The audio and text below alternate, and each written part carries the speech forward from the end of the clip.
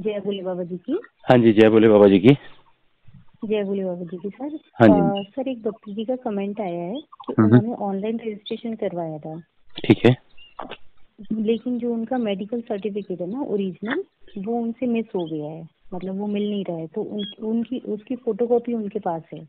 तो वो चल जाएगी क्या यात्रा में? ये क्वेश्चन दो तीन बारी मेरे पास भी आया लेकिन इसकी समस्या ये है। देखिए शाइन बोर्ड में मैंने बात करनी चाहिए पर कॉल उठा नहीं पाया वहाँ पे। और एक यात्री ने हम्म। फ़ोन किया भी तो उन्होंने सही से जवाब नहीं दिया गोल गोल घुमा दिया।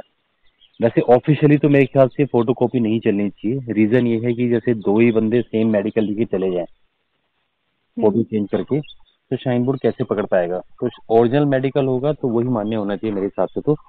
फ़ोटो कॉपी नहीं हम्म। चलेगी यहाँ तक मेरा आइडिया है।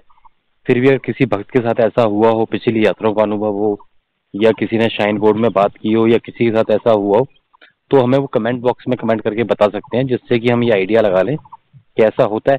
पहली बात तो ऐसे केस ही बहुत कम होंगे होने वाले ना। अगर कोई इतनी मतलब हो गया किसी का बाई चांस तो वो नया मेडिकल बनवा ले मेरे ख्याल से क्योंकि वहाँ जाके परेशान होने से अच्छा है कि नया मेडिकल बनवा ले। फ़ोटो कॉपी जहाँ तक मेरा आइडिया नहीं चलेगी।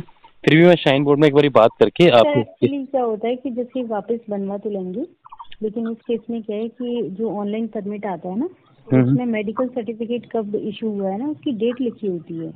अच्छा अच्छा तो हाँ अगर वो परमिट और मेडिकल सर्टिफिकेट को मैच मैच नहीं करेगा तो दिक्कत है। ये तो हाँ इसका मतलब मुश्किल ही है। अगर उन्होंने इतना सिस्टम बनाया है तो सोच समझ के सिस्टम बनाया होगा। तो मुश्किल है। बाकी मैं शाइन बोर्ड में एक बारी बात करके आपको एक बारी इसके ऊपर वीडियो बना के डाल देंगे हम। बाकी किसी का कोई एक्सपीरियंस रहा होगा तो या तो हमें कमेंट बॉक्स में कमेंट करेंगे तो हम उस पर वीडियो बना के डाल देंगे। ठीक है? ठीक है ठीक है जय बोले बाबा जी। जय बोले बाबा जी। जय बोले